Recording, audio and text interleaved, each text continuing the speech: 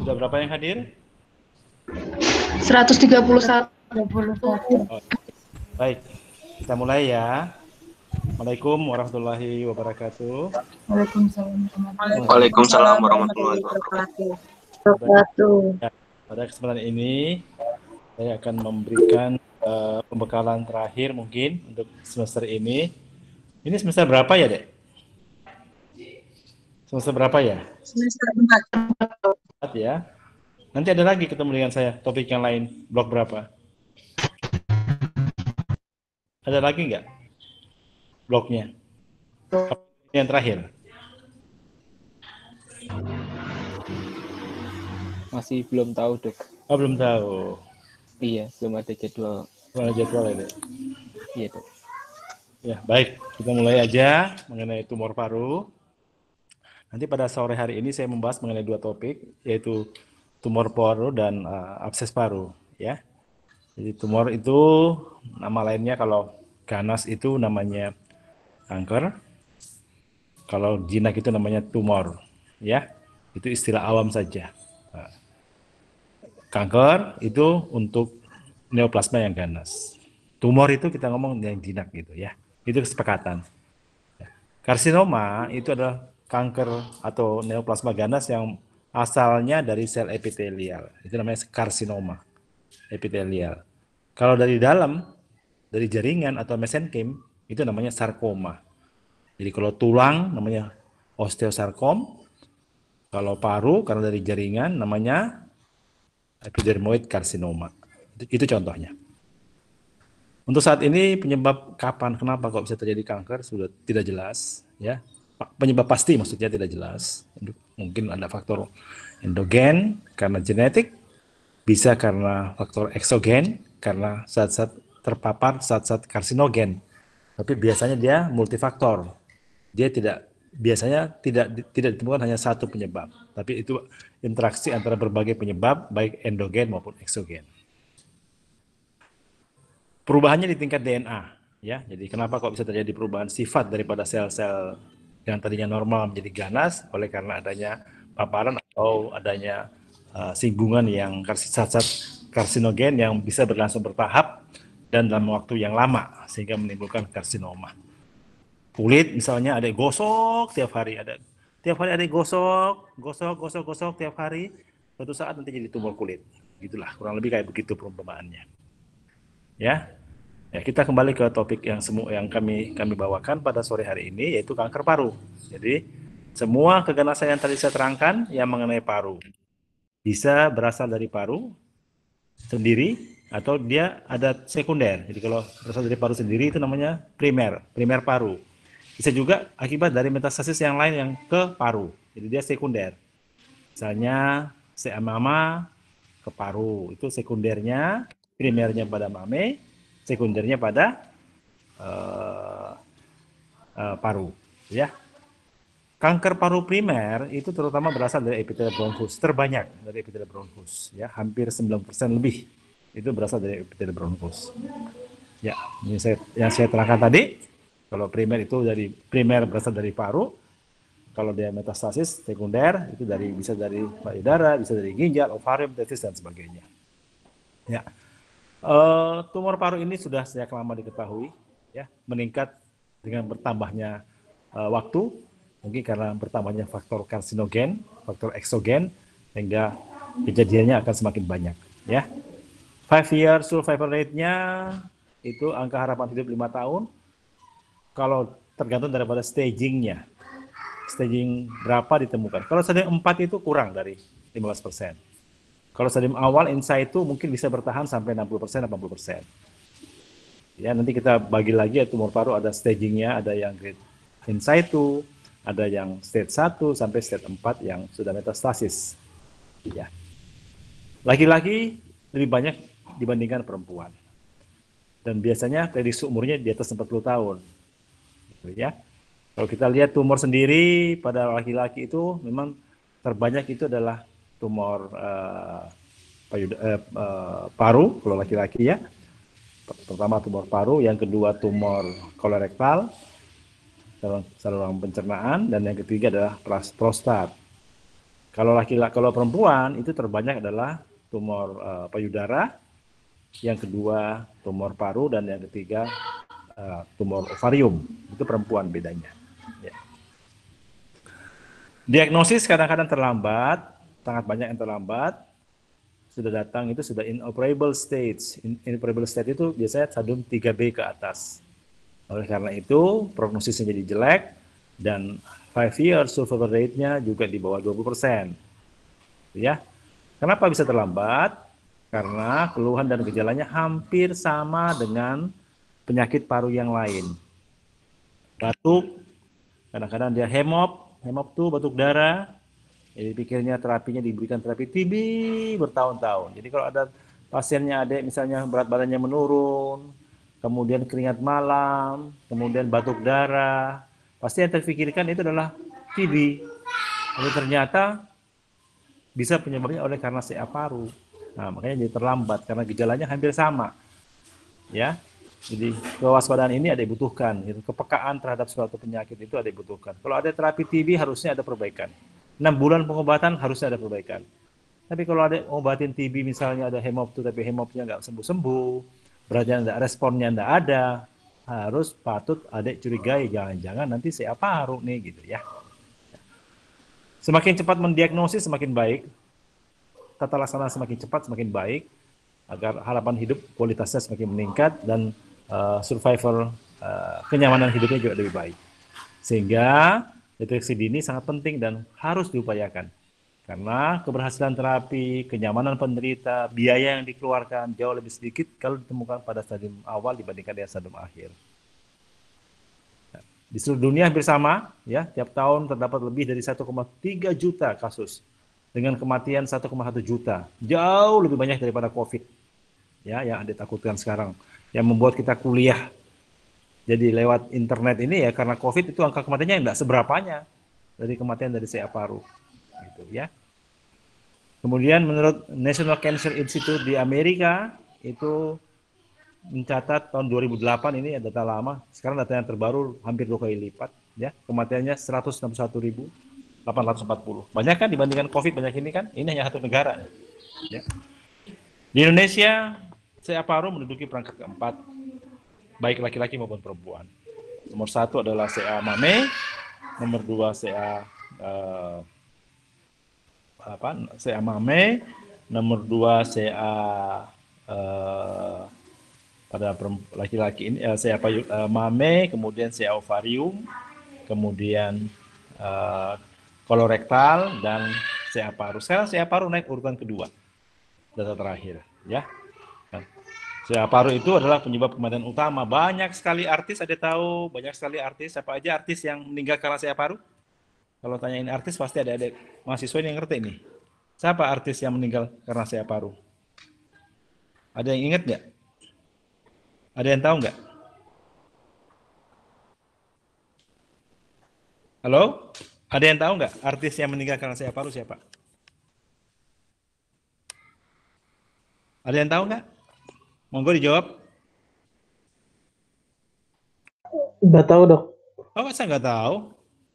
Krise kan, krise itu saya paru, masih banyak sekali. Kemudian siapa lagi ya? Uh, yang kemarin terakhir meninggal si ini siapa?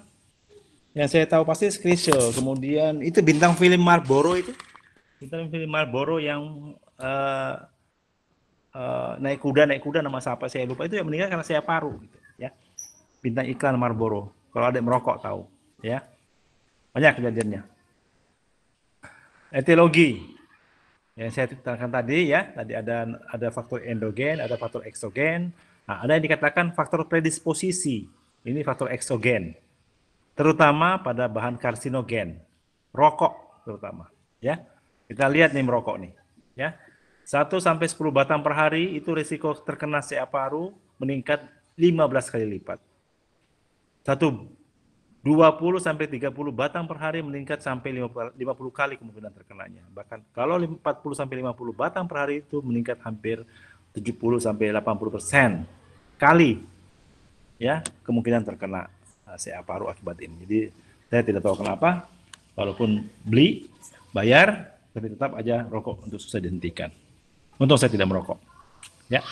Ini menerangkan patogenesis perubahan sel normal menjadi sel kanker yang saya terangkan di depan tadi yang di pendahuluan ada stat onkogen, ini onkogen berhubungan dengan uh, genetik, berhubungan dengan faktor internal, ya. Ada gen tumor supresor, keseimbangannya, jadi gen tumornya tertekan, kemudian muncul apoptosis, proliferasi yang berlebihan oleh karena berbagai sebab, ya. Ya, kalau onkogen itu kires namanya, nitomisin, P53, ini yang dideteksi bisa dideteksi, RB, kemudian siklus selnya berproliferasi lebih cepat daripada biasanya, ya ada faktor pertumbuhan, kemudian siklus sel dan P53. Ini semua yang membuat terjadinya kanker. Ya, bagaimana menegakkan diagnosis penyakit penyakit paru atau kanker paru ini? Itu tidak banyak berbeda dari penyakit paru yang lain. Didahului oleh keluhan subjektif dan temuan objektif Keluhan utamanya bervariasi, ada yang batuk, ada yang sesak nafas, ada yang batuk darah, ada yang penurunan berat badan. Kadang-kadang juga karena terlambat, dianggap sepele, datanya akibat gejala metastasis. Misalnya matanya sudah membengkak, atau sering pusing, gejala menyerupai stroke, ternyata sudah metastasis dari CA paru ke otak. Jadi tampilannya tampilan kayak semacam penekanan daripada sistem secara pusat. Jadi jadi kayak tampilannya seperti stroke gitu ya. Jadi memang tidak khas. Ya. Demam yang timbul, nafsu makan menurun, ya itu yang namanya dinamakan gejala paraneoplastik, gejala yang menyertai suatu keganasan. Tidak khas. Kalau dari anamnesis ada yang melakukan anamnesis yang baik, itu ditemukan adanya tanda-tanda iritasi, ada batuk kronis, ada hemoptu, ya ada pneumonia yang berulang, ada sesak nafas yang menyerupai asma, dalam foto terlihat seperti gambaran atelektasis karena penekanan tumor. Jadi gambarannya seperti atelektasis. Ya. Pada pemeriksaan fisik itu ada penekanan sekitar infiltrasi di sekitar paru, ada namanya sindrom vena cava superior, itu kalau dia menekan di lobus superior, ya, ada disfagia, gangguan menekan, kalau dia menekan pada cabang utama dari bronchus, ada kelumpuhan diafragma, suaranya menghilang, ada kadang-kadang divisi trachea sehingga gambarannya seperti gambaran uh, TB paru. Ya. Bagaimana menegakkan diagnosis? Anamnesis, pemeriksaan fisik, nah, dibutuhkan foto ronsen. Ya, yang paling sederhana. Foto ronsen harus dua, PA dan lateral, jangan hanya satu karena kita harus melihat dari sisi yang lain. Kita membayangkannya tiga dimensi. Kalau hanya PA saja itu tidak bisa menggambarkan tiga dimensi. Ya, lebih canggih lagi ada yang bisa mengusulkan CT scan toraks, ya. Tapi ini membutuhkan biaya mahal, ya. Kemudian kalau ada curiga suatu metastasis, mungkin dibutuhkan suatu CT scan otak. Kalau curiga metastasis ke otak, mungkin butuh bone survey atau bone scanning kalau curiga ke metastasis ke tulang. Ultrasonografi kalau curiga metastasis ke hati dan organ yang lain. Tumor marker untuk prediktif dan prognosis. Tumor marker pada uh, penyakit uh, kanker paru juga ada ya. BCR ABL namanya itu ya. Untuk mengetahui apakah dia menderita tumor yang sensitif terhadap obat tirosin kinase apa tidak. Itu nanti aja. Ya, sekedar ada tahu saja BCR ABL ya. Pemeriksaan penunjang invasif ada bronkoskopi diteropong kayak kalau endoskopi diteropong masuk ke lewat lambung kalau bronkoskopi diteropong lewat saluran bronchus. Kemudian ada biopsi aspirasi uh, transtorakal, ini tuh biopsi. Kalau letak tumornya di perifer, jadi bisa dilakukan biopsi aspirasi yang transtorakal. Kalau di perifer, kalau di, di dalam, di tengah-tengah, tidak bisa dilakukan aspirasi transtorakal. Fungsi atau efusi biopsi pleura, kadang-kadang kita butuh kita lakukan yang berfungsi sebagai diagnostik juga untuk terapi. Kalau orangnya sesak nafas, ada efusi pleura masif, lakukan fungsi untuk mengeluarkan cairan sebagian itu akan membuat klinis penderita lebih bagus. Biopsi kelenjar getah bening untuk menentukan staging, ya, medinoskopi juga sama untuk menentukan staging. Kadang-kadang kalau tumor-tumor paru yang besar dibutuhkan yang bisa masih bisa operable, dibutuhkan torakotomi eksplorasi. Kalau masih operable, ya. Yang paling penting ada dilakukan adalah selain operasi juga harus dilakukan pemeriksaan histopatologi untuk menentukan uh, jenis uh, patologi anatomi dari tumor tersebut. Sangat penting. Ya, ini histologinya menurut WHO ada namanya squamous cell carcinoma. Ini berasal dari epidermoid dan sel squamous. Ada karsinoma sel kecil, small cell carcinoma, adenokarsinoma yang paling banyak, ya, adeno-CA, kemudian ada namanya karsinoma sel besar atau large cell carcinoma. Secara uh, kegunaan terapi itu hanya dibagi dua, yaitu kanker paru sel kecil atau small cell lung cancer dan bukan uh, sel kecil atau non small cell. Ini kita klinis karena kepentingan terapi dibagi dua saja. Ya, small cell lung cancer dan non small cell lung cancer. Ini untuk menentukan staging menurut uh, IGCC American uh, of Oncology itu dibagi klasifikasi TNM ya. T itu tumor, ukuran tumor, I nodul limba, nodus uh, kelenjar getah bening dan M itu adalah tidaknya metastasis ya. Kalau kanker paru ada namanya occult cancer, belum kelihatan. T-nya ada gejalanya, kadang-kadang tidak kelihatan. Kemarin ini malah susah ditemukan diagnosis. Kita cari-cari ke mana-mana, tidak ada semua, gitu ya. Namanya acute cancer, tapi dicurigai dari paru. Kalau derajat nol itu yang inside itu, yang lain belum ada, nodulnya belum terlibat, tidak ada metastasis. Derajat dua dibagi, derajat satu dibagi dua, yaitu satu A, satu B, tergantung dari ukuran tumornya T1, T2 nanti akan saya terangkan apa itu T1, apa itu T2. Kemudian kalau derajat 2 itu kalau N-nya mulai terlibat. Ada lihat kan? Kalau yang derajat 1, 2 itu early stage, itu dia masih belum ada N. Kalau derajat 2 itu sudah ada N-nya sudah terlibat. Atau T-nya 3. Ya, makanya dibagi dua. Stadium 3 ada stadium 2A dan 2B. Kalau 2A itu hanya N1 saja, kalau 2B itu bisa N1 tetapi bisa juga T3 jadi gede gitu ya. Nah, stadium 3 itu N-nya bisa satu bisa dua, tapi T-nya ini ditemukan bersama-sama, bukan atau. Kalau stadium 2 itu 2B itu kan atau bisa T3 atau N1. Tapi kalau yang stadium 3A itu T3 dan M1. Itu bedanya. Kalau stadium 3B lebih lebih lebih tinggi lagi stadiumnya, ini daerah abu-abu, apakah bisa operable atau non operable? Kadang-kadang ini yang muncul uh, sedikit perdebatan di kalangan uh, dokter bedah dengan dokter penyakit dalam, onkologi, apakah dia bisa dioperasi atau tidak gitu ya. Kalau kita yakin dia 3B itu unoperable. Kalau kita tidak yakin masih 2, 3A masih operable ya. Dasarnya apa? T-nya 4. T-nya 4, N-nya nggak bisa lihat, gede banget gitu ya. Atau N-nya 3, T-nya terserah. Gitu. Nah, kalau stadium 4 itu sudah ada M1, itu intinya. Sudah ada metastasis itu, semua metastasis berapapun N-nya, berapapun T-nya, pasti derajat 4. Ini stadium berat, ini pasti inoperable. Sebelum menentukan pengobatan, kita harus menentukan lagi tampilan uh, performance pasien tersebut ada skala Karnofsky dan ada skala WHO menurut ECOG. Ya, Karnofsky itu menggunakan presentasi dari 0 sampai 100. Kalau ECOG itu WHO dari 0 sampai 4, ya. Tapi kebalikan, kalau Karnofsky semakin besar semakin bagus, kalau ECOG atau WHO semakin kecil semakin bagus, gitu ya. Kemoterapi kita berikan kalau ECOG-nya di atas 2, maksud saya kurang dari 2, jadi 1 atau 0, atau Karnofsky-nya kurang lebih besar dari 60 ya 70 sampai 100 persen. Baru kita safe memberikan kemoterapi pengobatan kemoterapi ini saya katakan tadi bahwa deteksi dini sangat penting untuk dipertimbangkan karena banyak sekali manfaat yang dapat kita peroleh dengan melakukan deteksi dini tersebut. Jangan biarkan adik mengelola pasien hemop dan tetap aja bertahun-tahun ada hemop tidak memikirkan ini suatu keganasan.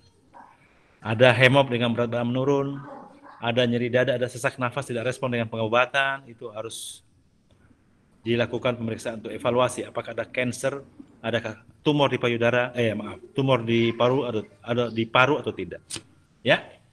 Ada yang dinamakan golongan risiko tinggi. Jadi kalau ada pasien yang sesak nafas, berat badan menurun, hemop tuh pada laki-laki umurnya lebih dari 40 tahun, perokok berat sampai sedang, dan dia pekerjaannya terpapar oleh karsinogen, itu ada harus melakukan evaluasi lanjutan untuk mencari tahu pemeriksaan baik itu uh, pemeriksaan penunjang yang invasif atau non invasif. Ya, ini alurnya. Kalau adik melakukan screening dini, pastikan apakah dia golongan risiko tinggi apa tidak. Kalau dia golongan risiko tinggi, lakukan fototoraks. Syukur-syukur bisa di bronkoskopi, kemudian dilakukan sitologis sikatan sputum, diperiksa sitologinya. Kalau hasilnya positif kanker, diteruskan diagnosis kanker paru. Kalau dia masih negatif, diulangi enam bulan kemudian. Kalau bukan gejala risiko tinggi, itu ya ada bisa kelola uh, terapi yang non kanker dulu. Tetapi kalau tidak sembuh dengan pengobatan, evaluasi enam bulan tidak ada perbaikan yang seharusnya sudah bagus, hati-hati. Mungkin ini suatu occult cancer yang nggak kelihatan. Tetap harus diulang prosedur diagnosis untuk kanker paru. Kalau tadinya dia GRT, tanpa gejala risiko tinggi tetapi tidak respon dengan pengobatan. Ya. Bagaimana pengobatannya? Ini saya singkat aja, nanti ada baca sendiri. Karena kalau kita bahas mengenai pengobatan ini, itu uh, waktunya tidak akan sampai sampai subuh besok. Ada dua terapi prinsip terapi, yaitu terapi lokal dan terapi sistemik. Kalau terapi lokal itu mengarah ke tumornya, operasi, pembedahan atau radioterapi itu terapi lokal. Sedangkan terapi sistemik apa pun macamnya itu adalah kemoterapi. Itu bedanya. Ya, kemoterapi itu adalah terapi sistemik, sedangkan operasi dan radioterapi adalah terapi lokal. Terapi sistemik itu ada namanya imunoterapi, terapi imunologis, ada terapi hormonal, ada terapi target, targeted therapy. Ya, ini sudah sudah berkembang sekali. Kelebihannya kalau terapi target itu obatnya diberikan oral. Kalau kemoterapi, obatnya pasti per infus paling banyak. Ada juga yang oral, tapi lebih banyak per infus, intravena. Ya. Bagaimana kita mengobati? Yang pertama adalah menentukan jenis histologinya. Berarti dibutuhkan apa? Pemeriksaan histopatologi. Ya. Menentukan derajat atau stadium. Berarti membutuhkan pemeriksaan scanning atau radiologi untuk melihat bagaimana T-nya, bagaimana M-nya, dan bagaimana apakah ada M1 atau tidak. Sebelum melakukan terapi juga harus dievaluasi tampilan atau performance menurut Ekok ataupun Karnowski. Kemudian faktor non medis juga harus dipertimbangkan. Ekonomi pasien dan juga keinginan pasien. Itu yang menjadi pertimbangan juga. Pasien kita terangkan ini harusnya kemo, tapi kalau pasien nggak mau ya haknya pasien, jangan di, jangan dipaksakan gitu. Preferensi istilahnya, preferensi dari pasien, keinginan dari pasien itu harus dipertimbangkan untuk melakukan pengobatan. Ya, itu mengenai kanker paru. Silahkan kalau ada yang mau bertanya. Mari. Ayo, Dek. Ada yang mau bertanya? Izin bertanya, Dok. Ya. Untuk yang penegakan diagnosis kanker paru tadi itu, eh, apakah perlu positif di tiga pemeriksaan tadi atau cukup salah satu, Dok? Yang eh, fototoraks, sitologi, sama Ya, bagus. Uh -huh. Itu aja? Iya dok, itu aja dok. Jadi gini, dasar apa pun penyakit yang terkait namanya penyakit itu dasarnya adalah anamnesis, pemeriksaan fisik. Tapi kalau untuk kanker tidak cukup. Harus dilakukan pemeriksaan tambahan tujuannya untuk menentukan pengobatan. Pengobatan harus ada staging. Staging bisa kita lakukan staging, bisa melakukan pemeriksaan penilaian evaluasi T-nya, tumornya berapa besar, ada kelenjar getah bening yang terlibat apa tidak, apakah ada metastasis jauh apa tidak, kan harus dilengkapi dengan pemeriksaan tambahan. Ya, kadang-kadang hanya toraks nggak kelihatan, kelenjar getah bening apa bisa terlihat dari toraks? Tidak bisa. Jadi dibutuhkan CT scan untuk menentukan itu. USG untuk menentukan apakah ada otaknya ada kanker apa tidak. Kalau tumor paru, walaupun tumor parunya kecil, tetapi sudah ada nodul paru yang dicurigai PA-nya sama dengan model PA-nya yang ada di paru-paru, berarti sudah metastasis. Berapapun T-nya, berapapun M-nya, eh berapapun n-nya pasti sudah metastasis, berarti sudah stadium 4. Jadi harus semuanya diperiksa. Jadi tujuan pemeriksaan pada kanker apa pun itu adalah untuk menentukan staging. Ya, staging dibutuhkan untuk melakukan evaluasi pengobatan. Ya. Histologi berarti harus ada pemeriksaan PA wajib karena kita butuh histologinya. Stadium klinis atau derajat, apakah dia derajat 1, 2, 3, atau 4, harus tahu TNM-nya. Performance itu hanya ditanyakan bisa tampilan Karlovsky dengan ECOG. Ya, jadi memang harus dilakukan kesemuanya untuk menentukan tujuannya adalah untuk menentukan staging. Jadi sebaiknya dan seharusnya itu semua dikerjakan. Mahal memang untuk pengobatan kanker. Baik, pertanyaannya ada yang lain? Ada yang lain? Silahkan. Ada yang lain? Dok, saya mau tanya, Ya, silahkan deh.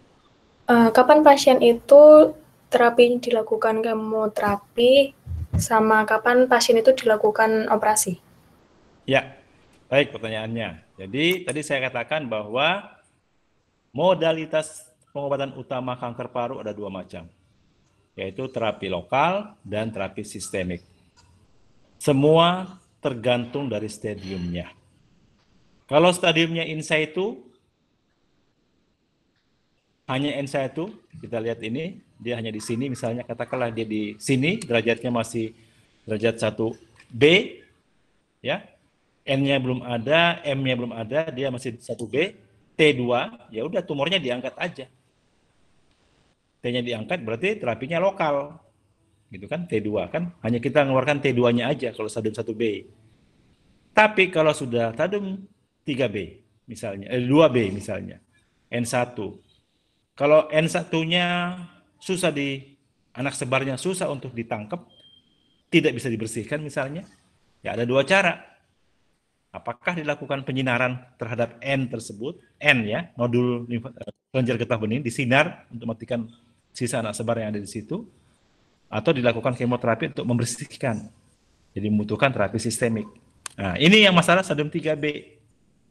Kalau stadium 3B itu N-nya sudah banyak. Tidak mungkin kita bisa menyinar tiga tempat untuk satu orang.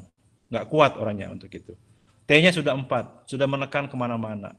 Tidak mungkin bisa bersih operasinya.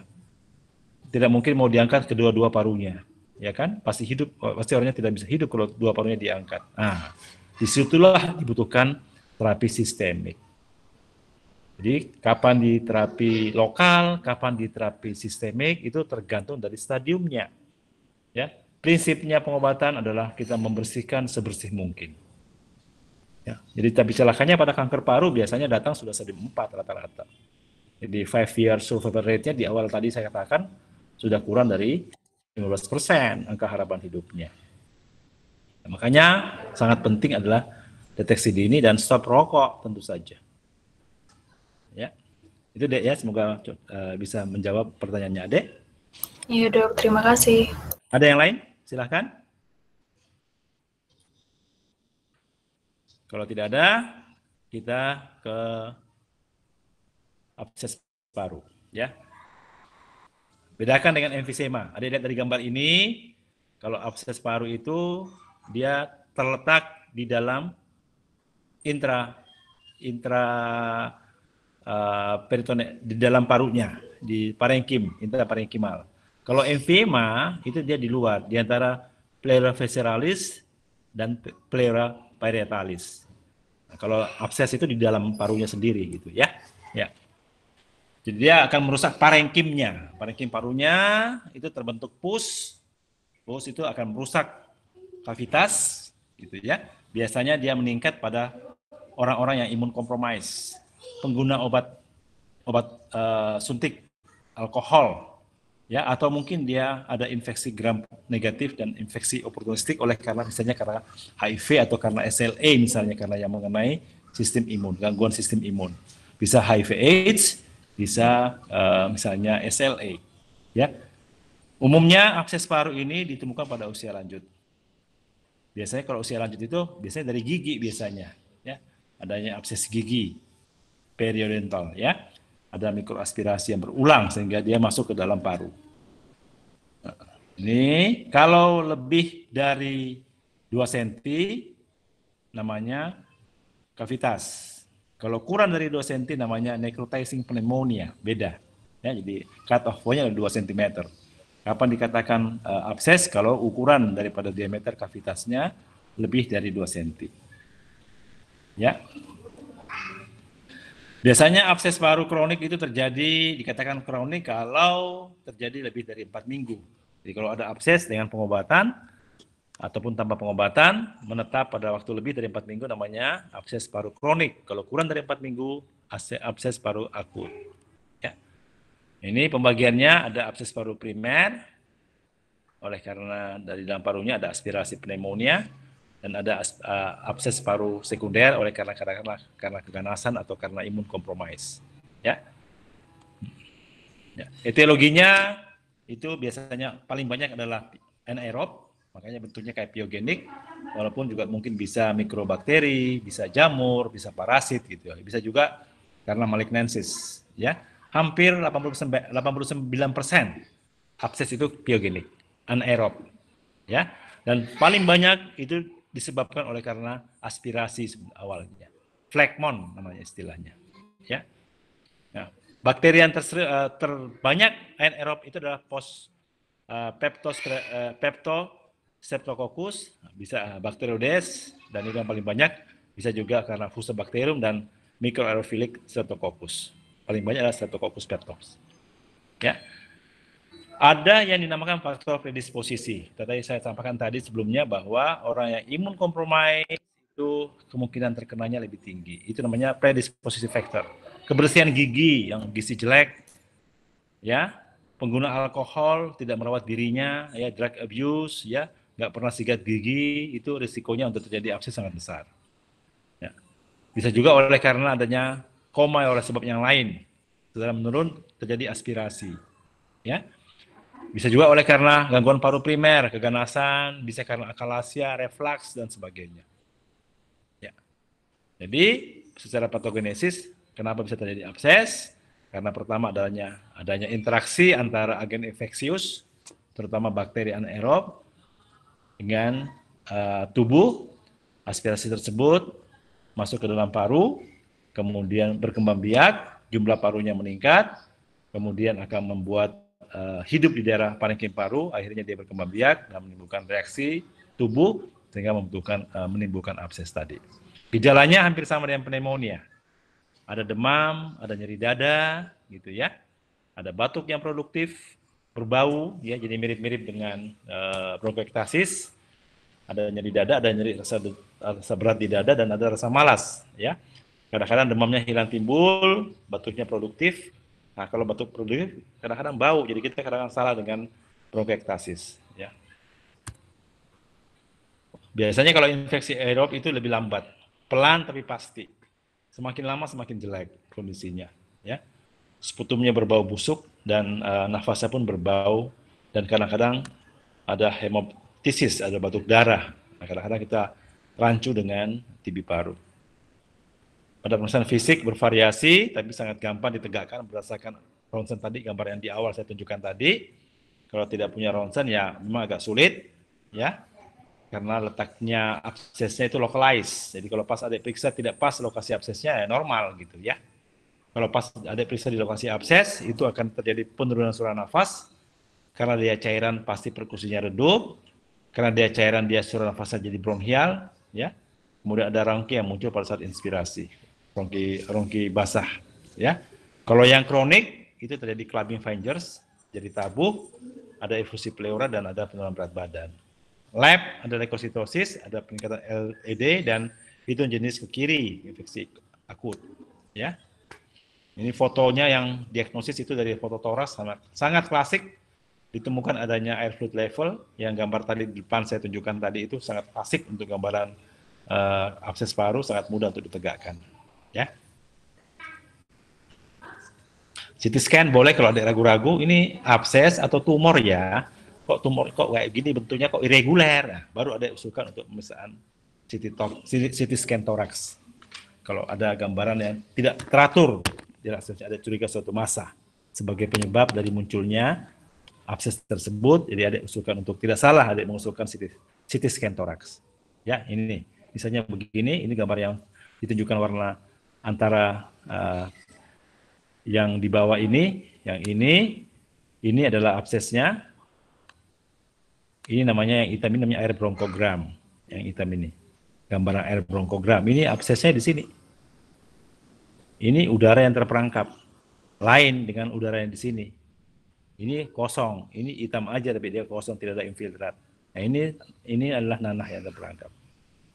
Kalau dia bentuknya tidak teratur, nah itu harus CT scan. Jangan sampai dia, metastasis dari tumor paru.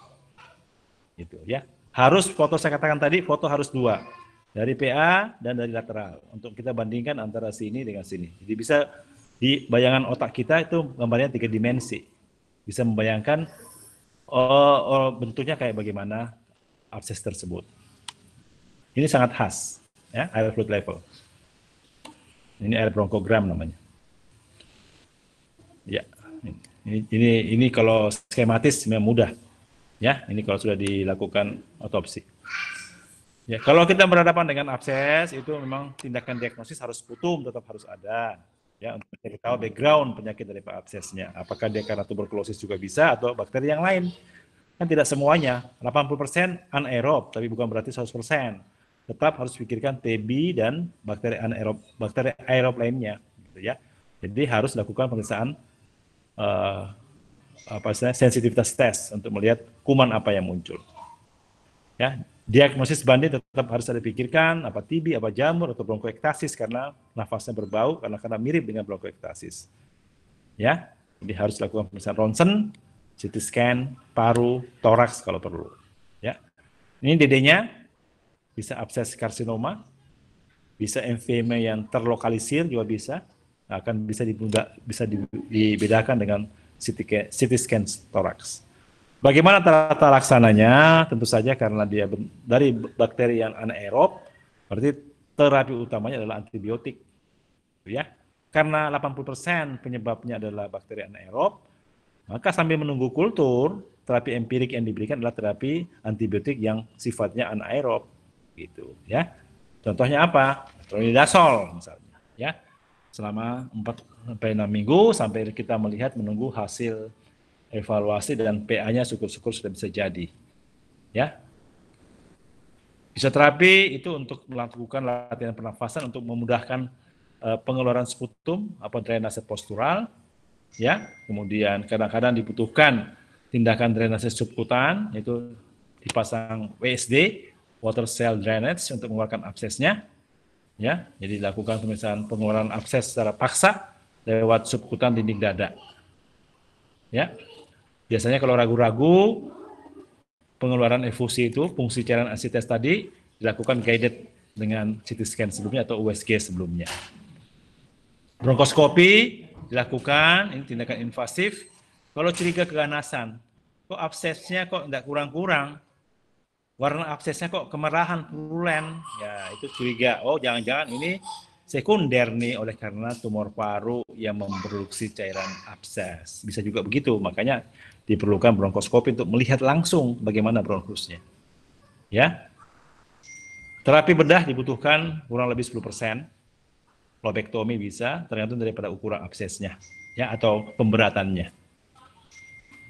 Itu hati hati-hati melakukan tindakan pembedahan pada orang-orang yang imun kompromis.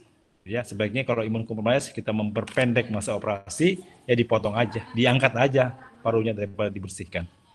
Ya, tujuannya terapi kan membersihkan, mengambil PA. Tapi kalau dia imun kompromis, harus dilakukan operasi ekstirpasi aja, karena paru kan ada dua, paru kiri, paru kanan. Udah dipotong aja. Kalau seandainya dia imun kompromis untuk mempercepat pemulihan dan mempercepat waktu operasi. Nutrisi jangan lupa, ya, pola hidup diperbaiki dan penyakit dasar mati.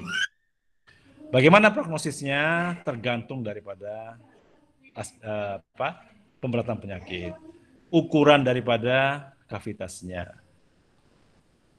faktor komorbid yang ada dan gejala-gejala yang menyertai, apakah ada lesi obstruktif, apakah ada pneumonia, apakah absesnya multiple, usia lanjut, ada keganasan, ada pasien imun kompromis, atau dia karena keterbatasan uang atau waktu tempat, jadi dia terlambat melakukan pengobatan.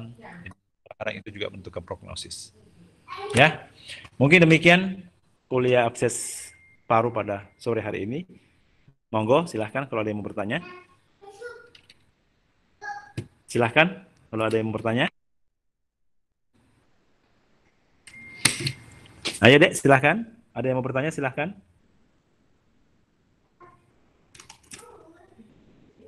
Ada yang mau ditanyakan? Silahkan.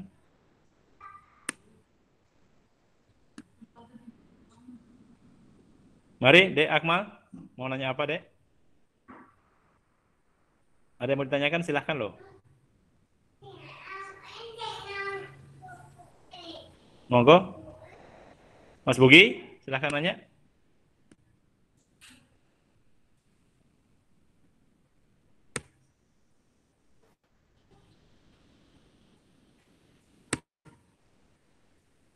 Silahkan.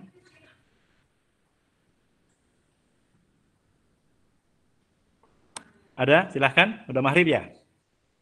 Mbak Akmal mau nanya apa? Mbak Rahma? Tadi sudah tanya dok. Yang lain silahkan nanya dulu. Siapa yang mau nanya silahkan. Di unmute biar bisa banyak nanya. Adminnya monggo di unmute biar yang lain bisa nanya.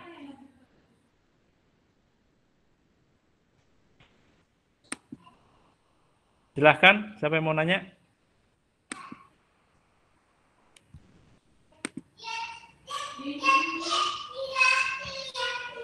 Kalau tidak ada lagi, ini mungkin anu ya, eh, terakhir ya dek ya. Ini yang terakhir ya Mas Bugi ya? Iya dok yang terakhir. Yang terakhir ya. Ya, nanti kalau ujiannya kapan? Ujiannya minggu depan. Minggu depan. Oh ya, nanti kalau gitu saya.